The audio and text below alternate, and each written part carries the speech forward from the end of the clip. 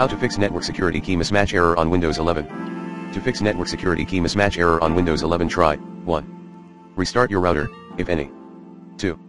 Forget network by checking your Wi-Fi options. Then reconnect your Windows 11 to your network by entering the right security key, Wi-Fi passwords. 3. Try resetting TCP slash IP by running this command as admin, netsh and IP reset for IPv4 users, netsh and IPv4 reset. For IPv6 users, IPv6 reset. 4. thank you.